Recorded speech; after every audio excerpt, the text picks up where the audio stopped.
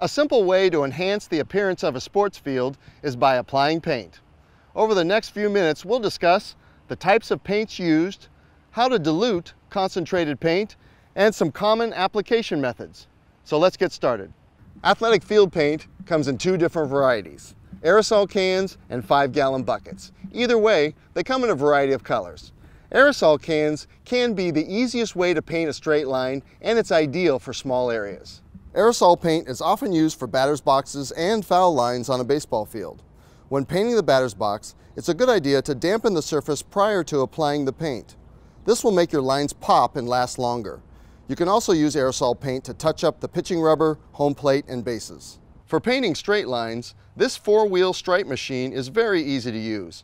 All you do is insert the paint can upside down, align the guide arrow along your string, squeeze the trigger, and away you go.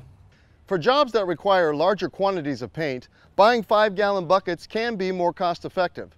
It also has a richer look than aerosol paint. Bulk sports field paint is available in concentrate and ready-to-use options. The advantage with RTU paint is that it's ready to use right out of the bucket. However, concentrate is typically a better value, allowing you to choose the dilution rate and the additives you prefer. When diluting the paint, you'll want to determine if you're painting a new line or if you're painting over an existing line. You can also add a plant growth regulator. A PGR will slow the growth of the turf, extending the value of your paint. For new lines, you'll probably want a smaller water to paint ratio. For existing lines, a higher water to paint ratio is common.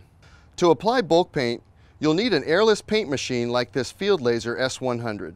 This machine is a common economical paint machine. It's ideal for large areas such as football, soccer, and baseball fields. It also features a detachable gun that is useful for painting logo stencils. For detailed how-to instructions, please refer to the manufacturer's manual. With the amount of work that you put into your facilities, adding field paint is the finishing touch that will give your field that professional look. For more information, stop by a local Ewing branch or visit us online at ewingirrigation.com.